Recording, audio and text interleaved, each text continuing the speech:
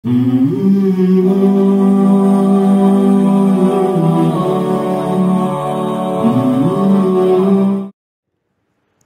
भाई, नमाज़ में, इमाम काबा के आगे भी मुख्तदी होते हैं हरम शरीफ में।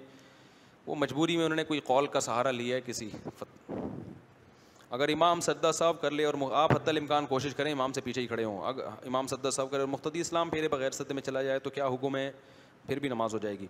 मुफ्ती साहब, जब हम किसी के काम के लिए जाते हैं तो इसमें हमें अपना काम छोड़कर अलग से जाना होता है तो इसमें हमारा पेट्रोल, हमारा वक्त, हमारी ख्वारी भी लग जाती है। तो इस बंदे को टोटल काम के पैसे बताते, वक्त थोड़ा सा इजाफी बढ़ाकर बताना, इसको बगैर बताए जायज़ है या नाजायज़ नाजायज़ है, धोखा है, वो समझ रहा है उस काम के लगे हैं। आप उसको शुरू में बता दो, भाई, ये मुझे काम इतने का पड़ा है। पड़ा का मतलब ये कि इसमें पेट्रोल और सब चीज़ें निकाल के टोटल ये एक्सपेंसेस हैं इसके। समझ रहे हो? ये ना बोलो कि ये चीज़ मैंने इतने की ख़रीदी है वो झूठ हो जाएगा। तो साफ़ बात करो उससे।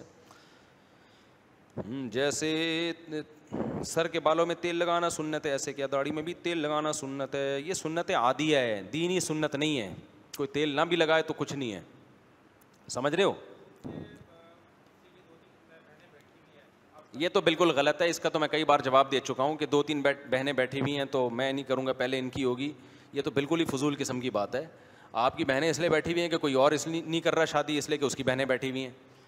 तो अपनी बहनों के चक्कर में, दूसरों की बहनों का बेड़ा रखो और वो अपनी बहनों के चक्कर में आपकी बहनों का बेड़ा तो पागलपना है। जिसकी शादी हो रही है, निमटाओ।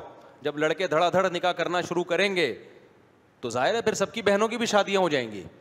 तो ये बिल्कुल फजूल सी बात है कि बहनों की जब तक नहीं होती, मैं नहीं करूँगा। इससे बहनों का भी बेड़ा गर्क होगा, आपका भी। और शादी से रिलेशन बढ़ता है।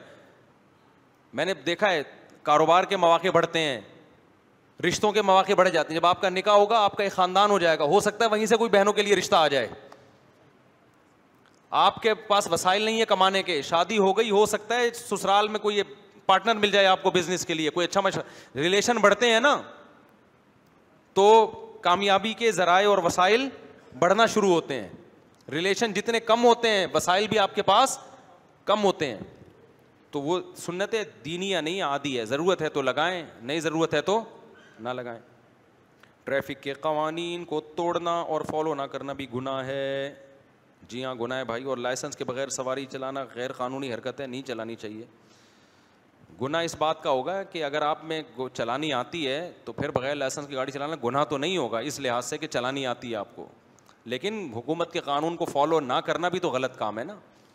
और बेज़ती भी होती है, पुलिस वाले पकड़ते हैं, फिर रिश्वत देनी पड़ती है तो ये चीज़ बहुत सारे गुनाहों का ज़रिया बन सकती है। हमारी फैक्ट्री में जमात कराई जाती है नमाज़ की। कोई हाफिज़ है तो इसकी दाढ़ी नहीं है बेहतर ये भी दाढ़ी वाले को आगे किया करें। अगर कहते हैं कोई दाढ़ी वाला है तो तजवीद वाला नहीं है। गुजारे लायक भी तजवीद हो, होना गुजारे लायक तो भी उसको आगे कर दें लेकिन कोशिश करें मुतकी को करें आगे।